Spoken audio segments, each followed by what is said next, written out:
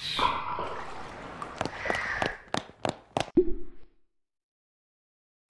everyone, today I will introduce a new update Adeept Intelligent Remote Control Car.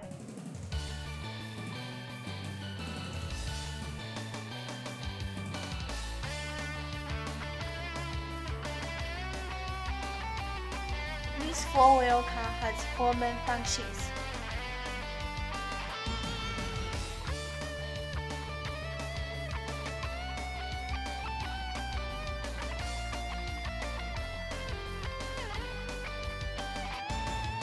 First, road control mode.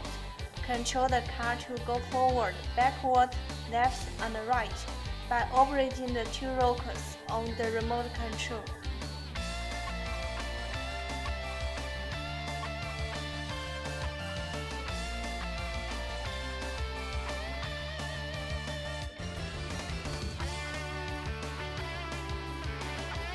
Second, automatic obstacle avoidance mode.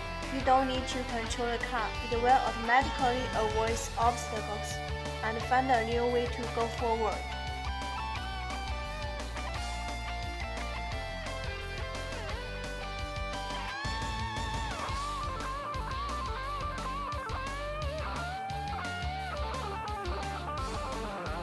Third, gesture control mode.